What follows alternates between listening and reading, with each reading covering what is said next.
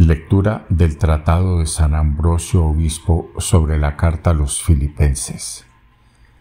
Estad siempre alegres en el Señor.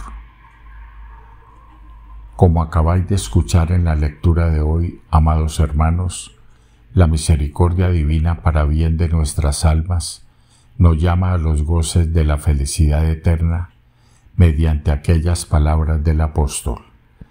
Estad siempre alegres en el Señor. Las alegrías de este mundo conducen a la tristeza eterna, en cambio las alegrías que son según la voluntad de Dios durarán siempre y conducirán a los goces eternos a quienes en ellas perseveren. Por ello añade el apóstol, otra vez os lo digo, estad alegres. Se nos exhorta a que nuestra alegría según Dios y según el cumplimiento de sus mandatos se acreciente cada día más y más, pues cuanto más nos esforcemos en este mundo por vivir entregados al cumplimiento de los mandatos divinos, tanto más felices seremos en la otra vida y tanto mayor será nuestra gloria ante Dios. Que vuestra bondad sea conocida de todos, es decir, que vuestra santidad de vida sea patente no solo ante Dios, sino también ante los hombres. Así seréis ejemplo de modestia y sobriedad para todos los que en la tierra conviven con vosotros, y vendréis a ser también como una imagen del bien obrar ante Dios y ante los hombres.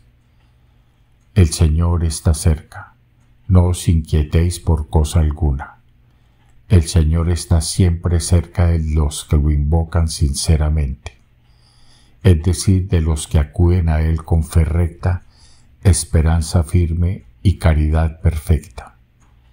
Él sabe, en efecto, lo que vosotros necesitáis, ya antes de que se lo pidáis. Él está siempre dispuesto a venir en ayuda de las necesidades de quienes lo sirven fielmente. Por ello no debemos preocuparnos desmesuradamente ante los males que pudieran sobrevenirnos, pues sabemos que Dios nuestro defensor no está lejos de nosotros, según aquello que se dice en el Salmo. El Señor está cerca de los atribulados, salva a los abatidos. Aunque el justo sufra muchos males, de todos los libra el Señor. Si nosotros procuramos observar lo que Él nos manda, Él no tardará en darnos lo que prometió. En toda necesidad presentad a Dios vuestras peticiones mediante la oración y la súplica, acompañadas con la acción de gracias, no sea que afligidos por la tribulación nuestras peticiones sean hechas, Dios no lo permita con tristeza o estén mezcladas con murmuraciones. Antes, por el contrario, oremos con paciencia y alegría, dando continuamente gracias a Dios por todos sus beneficios. El Señor afianzó mis pies sobre roca y aseguró mis pasos, y puso en mis labios un cántico nuevo.